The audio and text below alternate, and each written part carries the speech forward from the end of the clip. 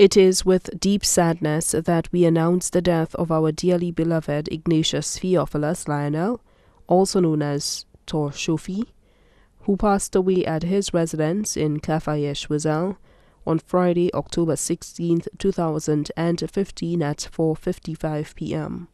He was 93 years old.